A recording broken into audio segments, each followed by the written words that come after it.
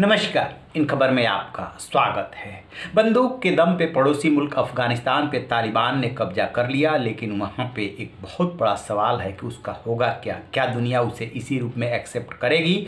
या अफ़गानिस्तान के लोगों को भूखों मरने के लिए छोड़ दिया जाएगा? तालिबान के सामने सबसे बड़ी चुनौती है कि दुनिया उसको एक्सेप्ट करे, और दुनिया के सामने सबसे बड़ी चुनौती है कि वहाँ की सरजमी का आतंकवाद के लिए इस्तेमाल न किया जाए और समावेशी सरकार बने, जो कि शुरुआती दौर में तालिबानी समावेशी सरकार बनाने में असफल रहे।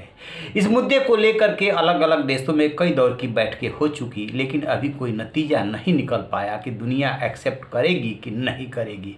इसी क्रम में दिल्ली डायलॉग के नाम से भारत ने नेशनल लेवल की दस देशों की एक मीटिंग बुलाई जो 10 और 11 नवंबर को दिल्ली में होगी, उसकी अध्यक्षता करेंगे दिल्ली जो देश के एन हैं, अजीत डोवाल, वो।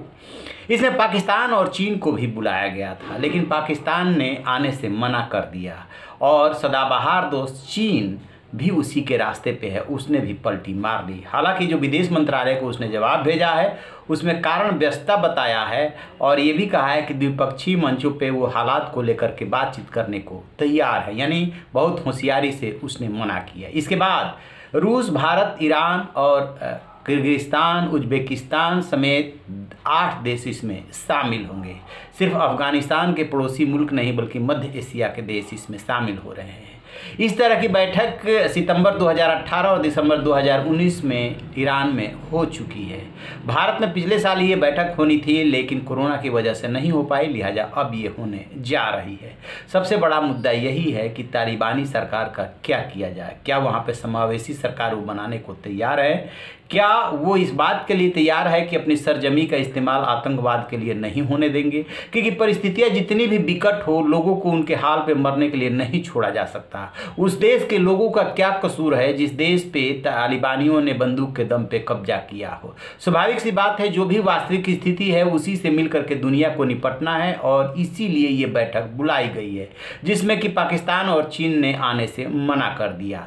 ये तो रही तालिबान और अफ़गानिस्तान की बात, लेकिन एक बात और है, वो ये कि पाकिस्तान जो है, इसमें अपने लिए बहुत बड़ा मौका देख रहा है कि अफ़गानिस्तान में उसके नियंत्रण वाली सरकार होगी तो वो जो चाहेगा वो करेगा। खास तौर से जम्मू कश्मीर को लेकर के भारत को परेशान करने की कोशिश करेगा।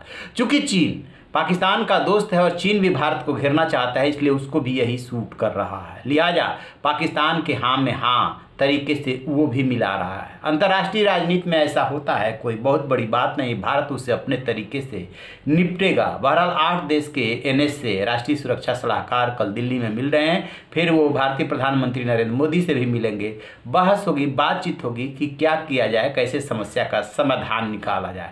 लेकिन पाकिस्तान और चीन ने अपनी अपने मंसूबे बता दिए कि वो चाहते क्या? दे, है क्या कि दुनिया जो है, बेशक आतंकवाद को लेकर के ये कहे कि वो इसको बर्दाश्त नहीं करेगी, लेकिन चीन और पाकिस्तान हमेशा अच्छा आतंकवाद, बुरा आतंकवाद देखते रहे हैं।